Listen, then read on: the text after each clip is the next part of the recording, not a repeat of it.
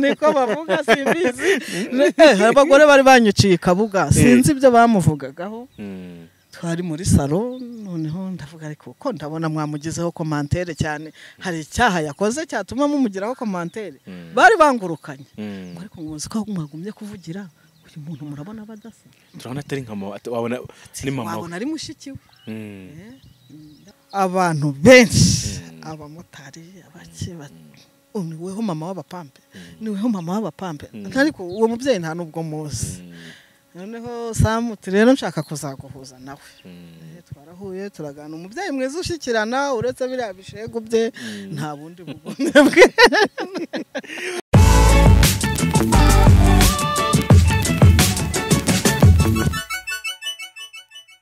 yes ka tubasuhuze kandi tubahe ikaze mwese mudukurikira hano kuri iris tv twizera ko mukomeje kugubwa neza ndetse n'abashimira. Mwe mudukunda mukatwumva mukaduha n'ibitekerezo bitandukanye bya buri munsi byo kugira ngo twubake urubuga rwacu. Abari mu rwanda mu bice bitandukanye by'u rwanda ndabashuje ndetse mbahaye n'ikaze ndetse tutibagiwe n'abari hakurya y'inkiko muri za diaspora zitandukanye. Duhereye hano hakurya gatoya Bugande Tanzania. Tukagira i Burayi muri Amerika muri Australia n'ahandi baradukurikira. Uyu munsi rero turi kumwe n'uyu mubyeyi muri kubona ufunzemo neza cyane. Ngira ngo kameramani araza kudufasha ahere hasi kabisa babanze barebe style ah, yaje yambaye.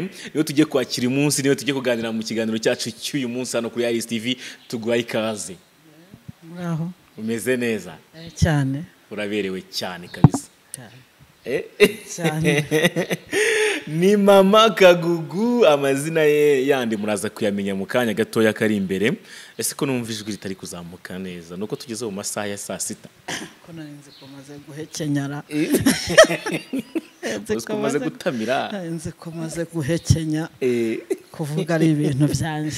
Ubu ngubu hamaze gutamira mu kanya gashize. Eh, Mm. maze guhekenya. Eh, okay yes ni mama kagugu rero ngira ngo niryo zina abantu benshi bazi yaba hano muri quartier ndetse n'uwamubonye kuri social media kuri mu, biganiro yakoze niryo bazi ariko uyu munsi turaza kumenya mu buryo bwimbitse.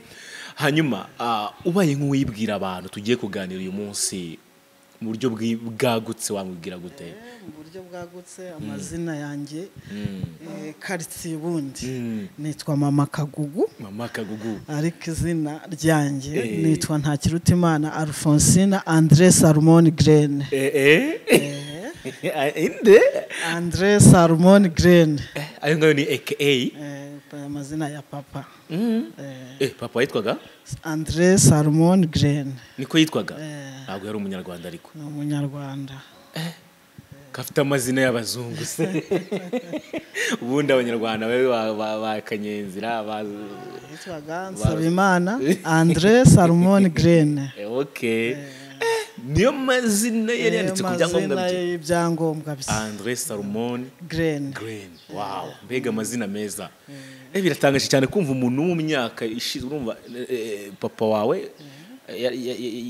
yitabye imana? Arahari. Arahari? Eh, amaye nka ye. Ariko uri imfura ye. Eh, ndi umwana wa gatatu. Mm. ubusa afite imyaka ingahe? Ari muri mirongo inani.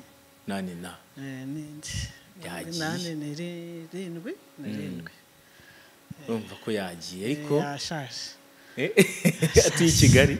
Oya tuye nyakariro.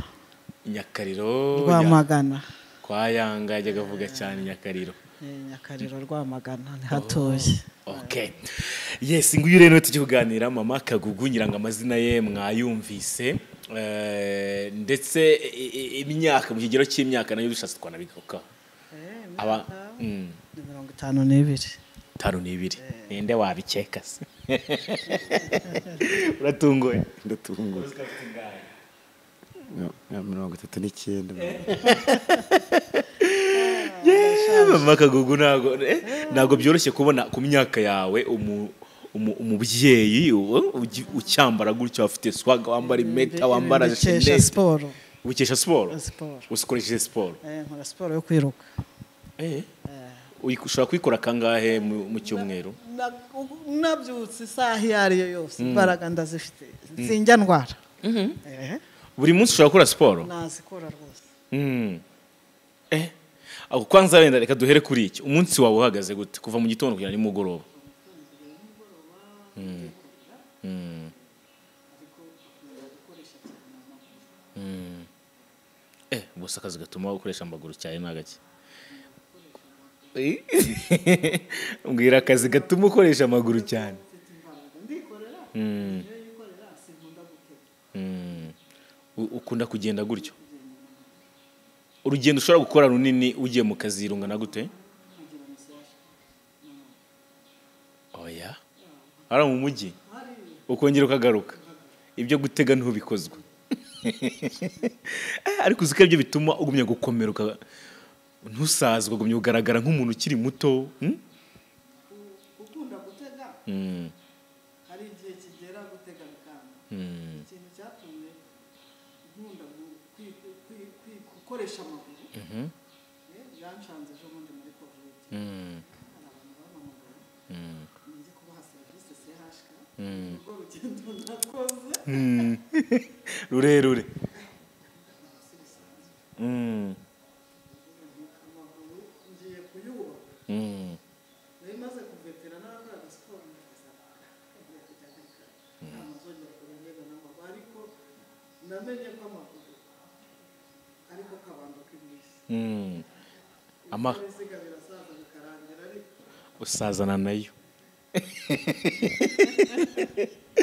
Ah, none se mbwiza ukuri wenda niba atari ibanga ukora iki mu buzima bwa buri munsi Mm. Oh wow. Eh. birashimishije cyane. Ushobora kwivira hano ukajya ku kazi sehashika wigendera n'amaguru gake gakeya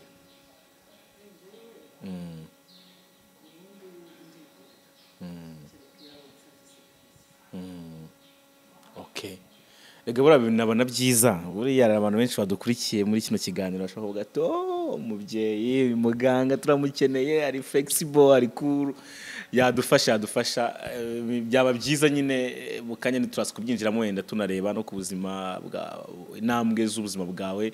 Kuko uh, uri interested Wa- ubwa mbere ndeba ikiganiro cyawe nkareba ukuntu uvuze imyaka yawe. Mm, nanjye byaranunguye nareba ukuntu yambariye nareba ukuntu ufite imbaraga mwumva ntabwo mbyemeye neza. Mm, imyaka yanjye ni iriya mm, data na mama nibo bajya bambwira "Eh, papa wajya avuga ati umuhungu wanjye araje mm. nubwo ariko ko mfite basaza banjye wowe ukanyita ngo umuhungu wanjye ejo bundi ni bwo nageze ubu turaganira umuhungu wanjye araje Eh, ntabwo rero mukundira ko ugira ibikorwa by'abagabo ntabwo ubaramubona mm. uhagarara mu bikorwa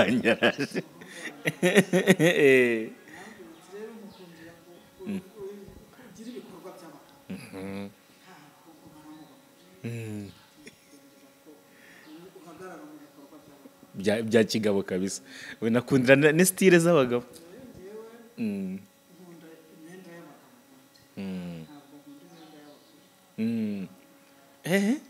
hanyuma mbwira rero urebye ukuntu wambaye n'aka kanya wenda ngira ngo imirimo kandi araza gufata ama, insert araza kubereka abantu ureba t-shirt wambaye ikabutura inkweto byo ni byo ni iz'abagabo eh, ishenete. Ino myambarire watangiye watangiye kwambara gutya ryari? Kuko ndi kubona ni bya gisitari cyane. Ubundi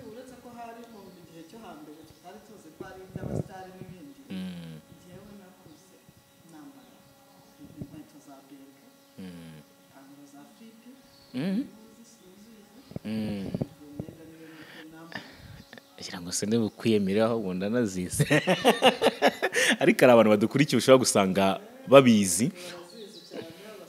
Mm. Mm. Wenda mu gihe cyo hambere hari abasore bajyaga bambara ibipantaro ukabona bashyizeho n'ibifunguzo Eh, njya mbibona no mu mafoto. Mm, ibifunguzo bimwe bikweduka bibi bibelasitike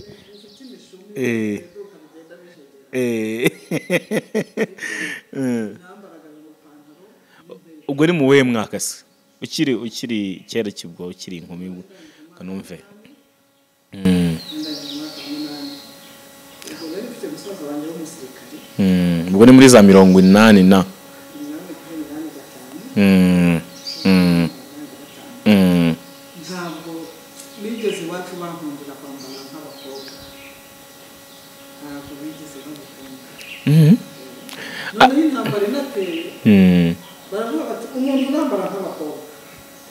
Umuntu hano ntabwo turi bujyane.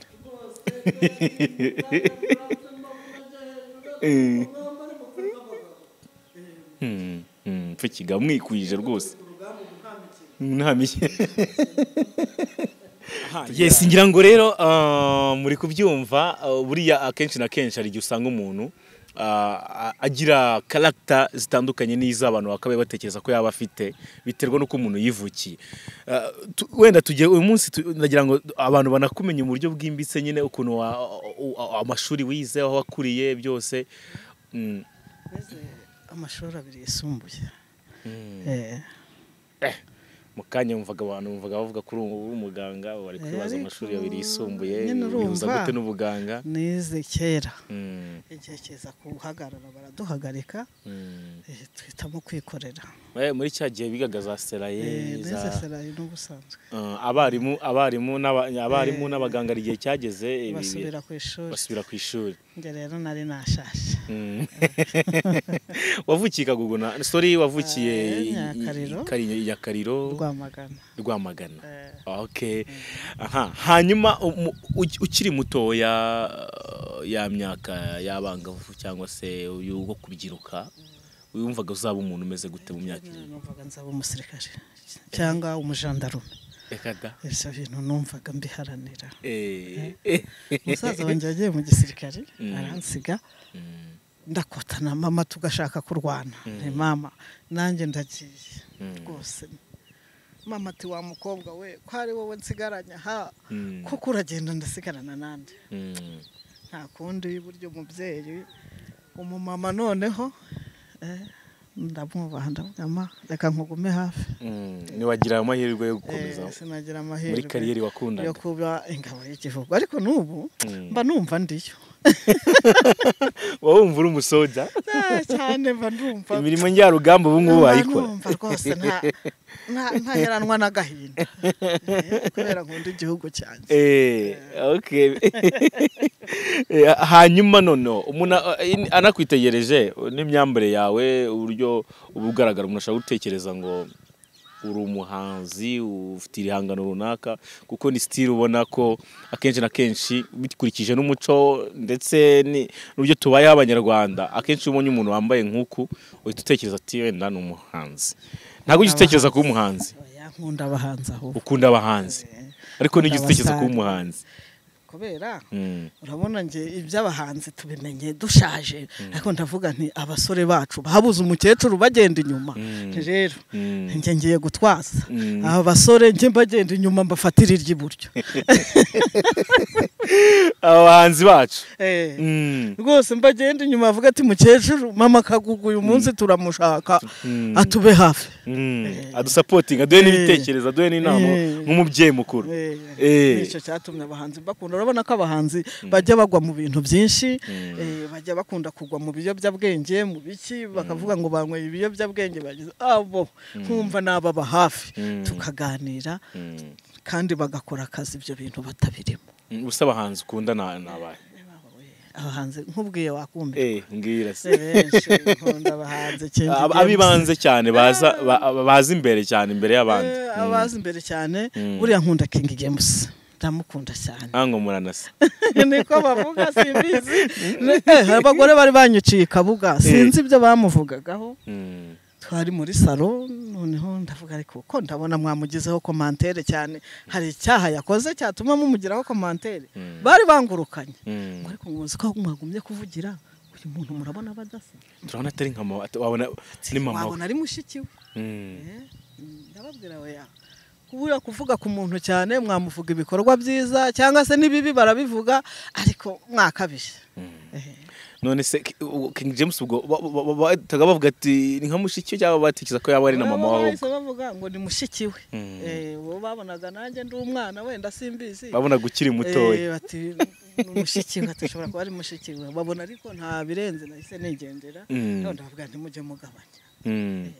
King James ubu ngubu amaze kuba ngira ngo usibye amaze kugira imyaka igera nko kuri mirongo hafi mirongo ine ntabwo arashaka biba bintu nk'umufana wivuga iki? Ariko ni ukuvuga ngo ni umusore ni umwana afite iterambere.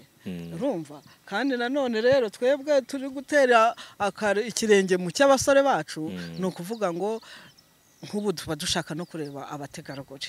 Eh, nka noresi ahageze uyu munsi ni umutegarugori nawe dukeneye akeneye abakecuru bamujya inyuma Mm. tukagenda tukagenda ariko burya nubwo mu batera rape natwe tukajya tuvuza n'impundu Mm. mugashyigikira abana rega ni umwuga ubatunze kandi ukabateza imbere Eh. mu buryo bwagutse Eh. Mm. King James watagiye kumukunda wat- watagiye kumufana ryari reka bivuge Mm. nagiye nkunda ibihangano bye cyane nkabikurikirana hmm, ariko hari igihe ari ku mazi aririmba agira ate nka- nkabona ndamukunze Mm. ariko nkabona ni umwana witwara neza Mm. ukabona ko ari umwana utajya mu biyobyabwenge. Mm. Nibyo bimwe mu byo wamukundiye cyane. Leta y'u rwanda yanga nkabona ntarangwa na byo. Uyu munsi turakwita mama King James. Muri mama King James. Emily ubona ko barasa. Kandi aramukunda. Uri ni umwana wawe ni umwana wawe. Reka tubivuge gutyo. Ese umwana wawe w'imfura afite imyaka ingahe? Mirongo itatu n'ibiri. Aho urumva ari umostenda kungana na James. Afite mirongo itatu n'ibiri. Ko nashatse ufite imyaka makumyabiri. Nashatse ndi muto cyane. Shatse uri muto kabisa. Imyaka makumyabiri. Eyeye wari ukiri muto cyane. Ariko kera abantu bashakaga bakiri batoya. Eh, twarashatse dusezerana byemewe n'amategeko. Mm. Eh, umutware aracyahari barahari wow aha abandi bahanzi ukunda rero nkunda noresi Mm. umutegarugori ariko ukunda abantu bafite inyinya gusa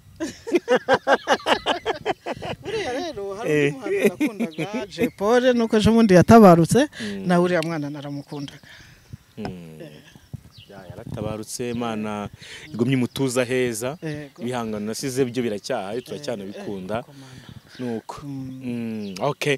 Eh, ah, ubundi se mu bana bawe ntawe ugize uvamo abe yaba umu artiste? Oya abana banjye bara- barakundana cyane. Mm, abana banjye batatu barubatse. Mm. umwe ni we utarubaka Ah, ababyeyi bane. Abana bane Eh, wabyaye neza kabisa. Waringanije urubyaro ntabwo rimwe bya kera ba- nyabyenda na ba macumi n'abahungu babiri. Oh wow. Mm. ubwo mukuru afite abuzukuru bangahe? Umukuru afite abana babiri. Eh, abo- ubwo ni abuzukuru bawe babiri. N'undi afite babiri? bafite umwe ah ku myaka yawe abuzukuru batatu rwose eh, bane? Ubu ni bwo ni bane narimbagabanya ni bane. Mm. So hanyuma uh, wenda nk'iyo umutware muri kumwe. Wambaye gutyo wambaye nk'aba nk'abapapa n'ubundi cyangwa se nk'abagabo. Ah, by'umwihariko hakajyaho nka n'izo sitire usanga ari iz'abasitari Mm, ah, ni iki abifata gute? Arabikunda cyane. Mm. arabikunda. Ntabwo akunda nawe. Byamwinjiye mu maraso. Mm. ntabwo akunda imyenda y'abagore. Aya n'ababona ariyo sitire nyine. Ara- arambwira ati rero amaraso yawe mbona ari ay'abagabo n'ubundi. Kamere n'imyiterere yawe mbona uri umugabo. Mm. ahubwo tuza twubake. mwabaye abagabo babiri mu rugo ahubwo. turakundana cyane. Eh. ntabwo tujya tugira igihe bino by'abagore n'abagabo ngo habayeho no guhangana n'ibindi. Mm. twe turikundanira Mm. tukamenya uko twubaka urugo rwacu ibindi hoya nta ntambara tugira iwacu. Nawe nawe nawe akunda abasitari nawe ni umuntu cyane. Usanga ansetsa ambwira ati ariko se mwakabyaramo? Uyu muhanga nk'abasare wenda bajya baza nko kunsura ati mama wacu mere wacu. Akambwira abahungu bawe. Urimo anywa ibiyobyabwenge. Gerageza ubagorore Ari ubu- ari umusitari mu rwanda mushobora kuba mufitanye umubano wihariye? Eh, mushiti yawe hari ushobora kugusura mu rugo? ujya aza kunsura ariko ejo bundi nari- naragerageje ndamwigisha. Mm. Eh, ndamubwira rero Mm. iminsi myinshi bakuvuga kunywa ibiyobyabwenge mwana wanjye. Mm. haranira kubireka kandi uzaba ingabo y'igihugu. Mm. Arambwira ati me ati ndakurahiye ihoraho Mm. ati narabiretse. Ati iminsi ifunzwe ni myinshi. Ati kandi mere niyo mpamvu nje imbere yawe. Mm. ati nkurahiye ko ntazongera. Pirato Oh! pirate ejo bundi baramubitse disi. Eh. bavuze ko yapfuye. Eh, pirato yarafunguwe aza mu rugo.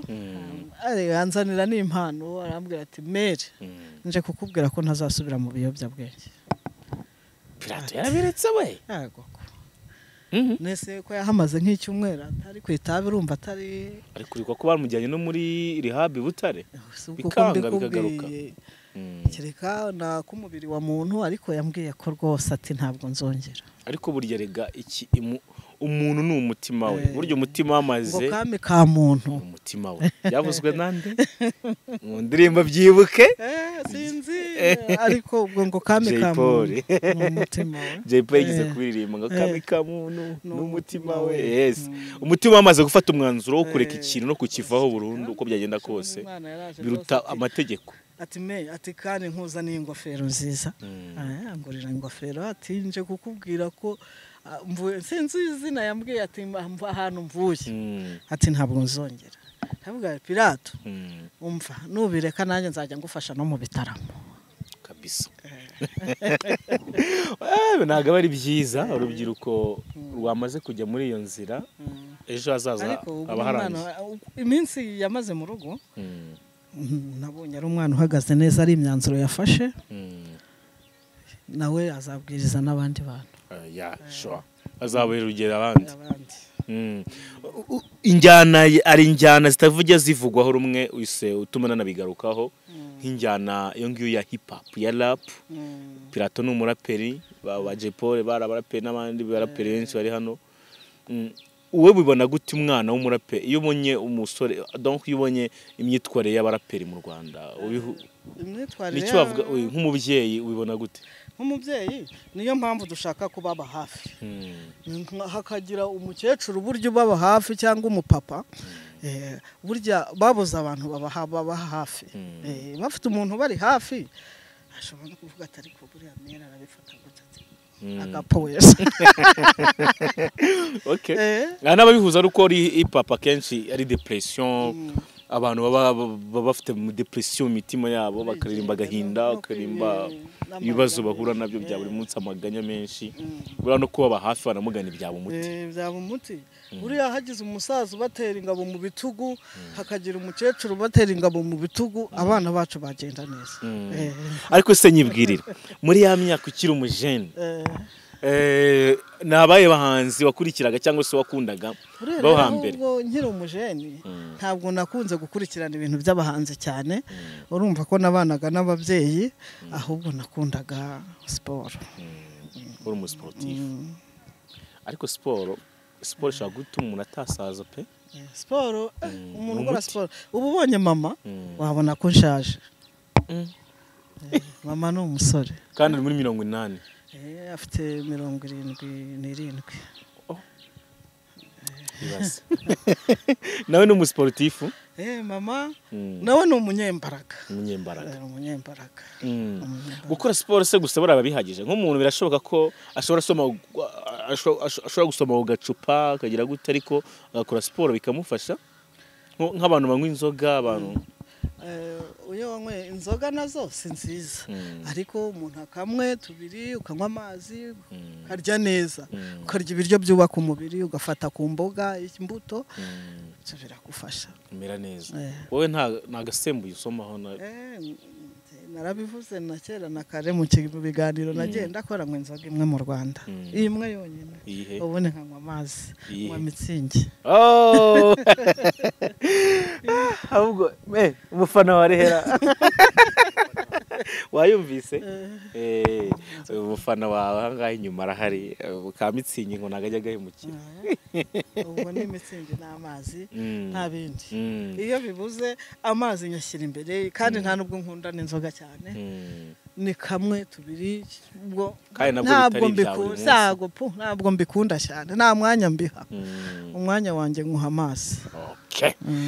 yes nuko bimeze. Hari n'abantu rega buriya iyo tuganira gutya baba bashaka kumva ibanga ryo kuba wagera kuri iyo myaka. Ukagaragara nk'aho ukiri muto ibanga umuntu aba yarakoresheje ah, ukibaza bigenda bite? Ubundi Mm, ibanga ryo gukomera no guhorana ingufu no kwirinda indwara ubundi iyo umubiri utwaye uwujenjekeye nawe urajenjeka. Iyo uwukoresheje nawe urakomera. Mm. Eh, urabona abana dufite muri iyi minsi uramubyutsa yewe wabyuka reka ta. Ukibaza ejo hazaza he? Mm. ugasanga birakomeye. Ariko kera twebwe Mm. saa kumi n'imwe. Ababyeyi babaga batubyukije n'inkoni tukajya kwahira ubwatsi tukajya kuvoma. Tukajya ku ishuri aho ni ho nazamukiye kugeza n'uyu munsi. Niho imbaraga zagiye ziva Mm. papa ntabwo yakunze umwana ushenjetse kandi uyu n'uyu munsi Mm. ehe ntabwo n'ubu naraye yarambyutsa arakuzindura hakiri kare Ay, ay, ay, aravuga ati haguruka haguruka. Abantu bamenye ko no kuryamira burya bituma umubiri uba umubiri. Uba weak cyane ucika imbaraga Mm. ukanabyibuha. Mm.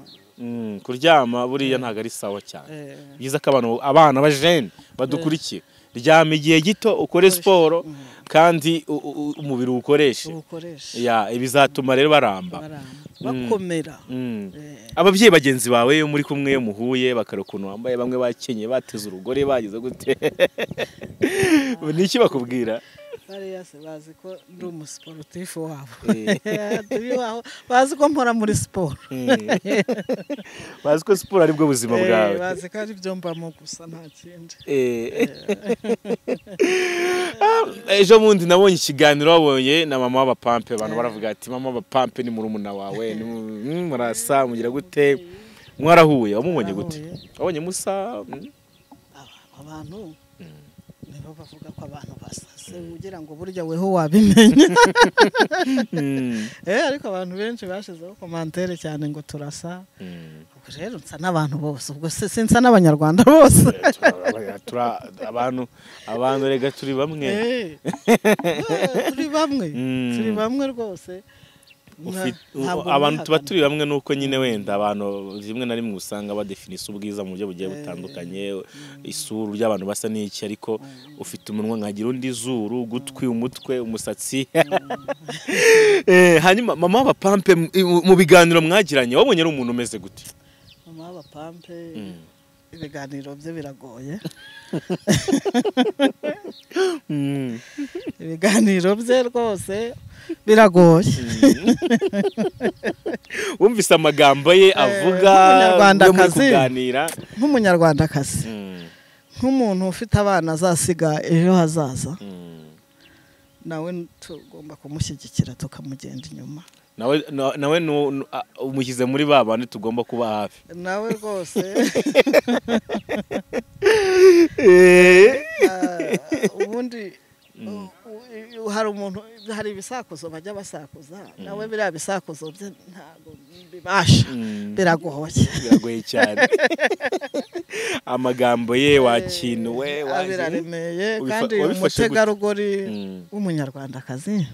Burya ntabwo akwiye kuvuga ngo wakinuwe waki hari ibintu ntabwo namenya kubivuga Mm.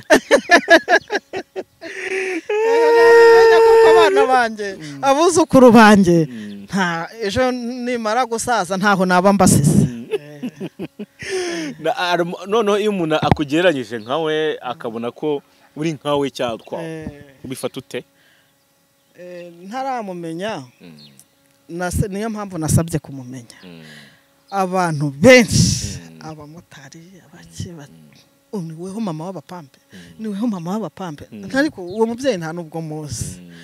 Noneho samuti rero nshaka kuzaguhuza nawe. Eh, twarahuye turagana. Umubyeyi mwiza ushyikirana uretse biriya bishegu bye nta bundi bugome bwe. Ibishego bye ni byo byakubangamiye gusa. Eh, ntabwo mbishoboye pe. Kubivuga naho nta n'ikiganiro najyamo.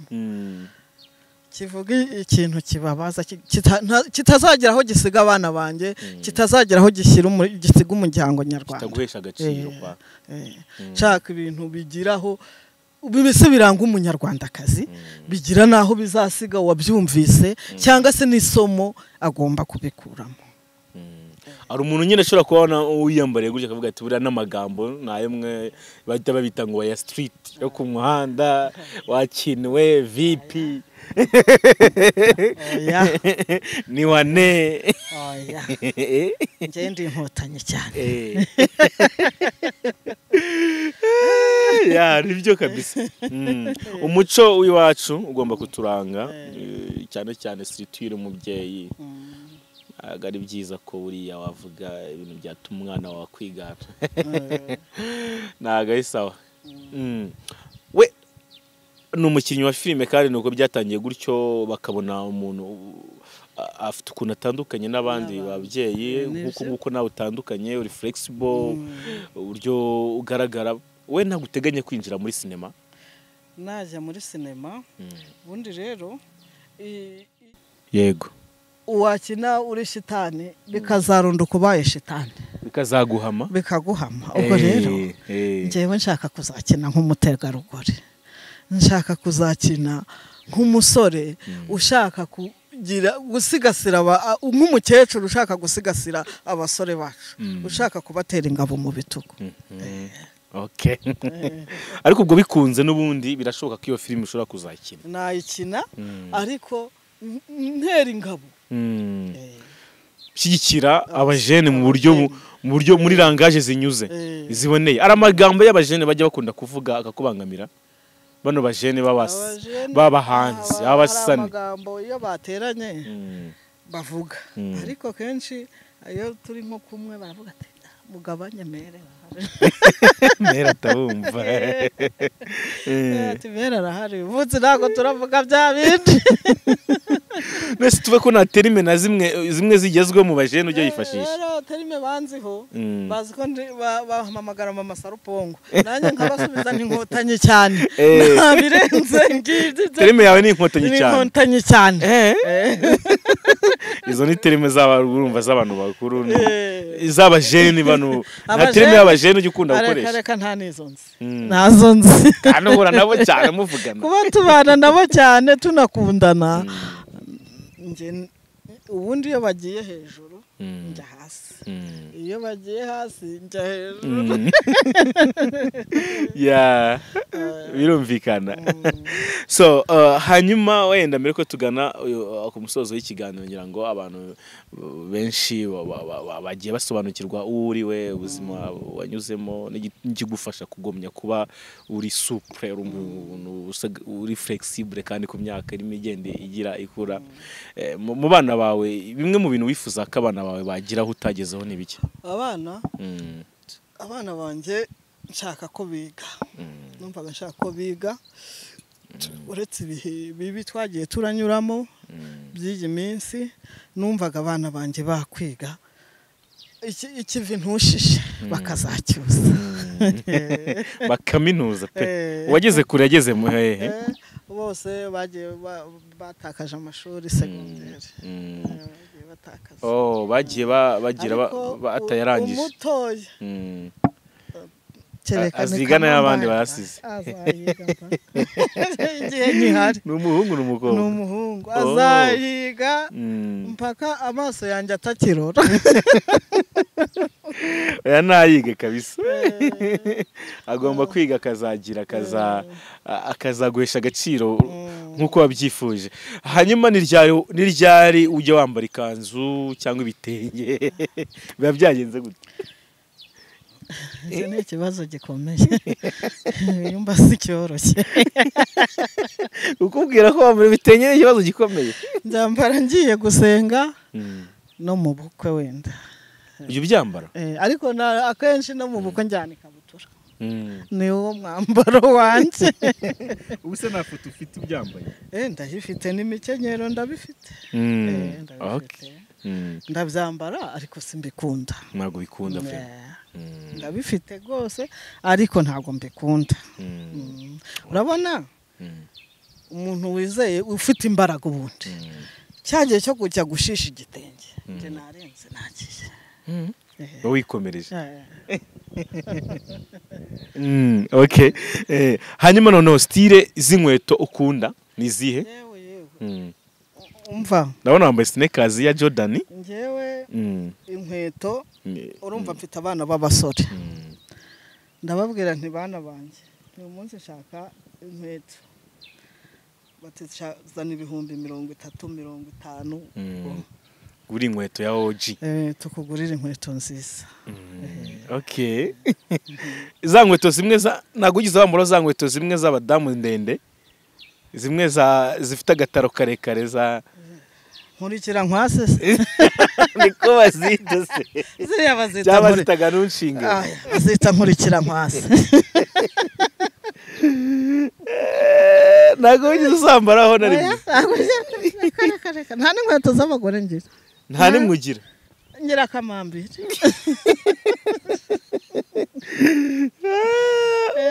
imyenda myinshi yiganje muri gariderobe yawe ni imipira amakabutura n'amapantaro. Mm, ni byo biba hafi.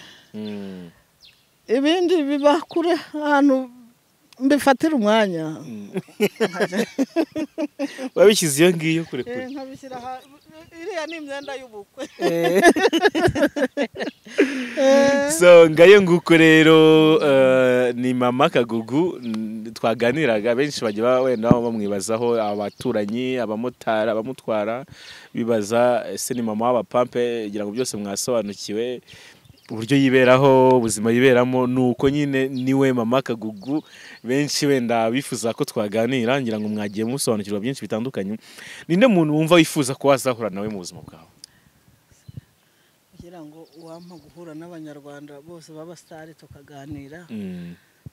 nkamenya aho bageze nanjye bakazagera aho bazangeze Eh? Eh, kuko njye ndi umukecuru Mm. Mbari inyuma. Noneho bakazanshyira imbere. Hagize umuntu gusanga gushyira muri video clip ye wabyemera? Eh, nabyemera. Mm. Eh, abahanzi badukurikiye ngira ngo barabe babyumva Eh, hari ababyeyi babashyigikira harimo na mama kagugu baba bari inyuma ku bikorwa byanyu mukora ndetse ngira ngo ni ikintu cyiza cyane. Mama kagugu turashoje ikiganiro rero. Turashoje ikiganiro. Wakoze cyane kutuganiriza kugira ngo tumare amatsiko ku buzima bwawe n'imibereho yawe ndetse n'uko utekereza ibintu bimwe na bimwe wakoze cyane. Imana iguhe umugisha muremure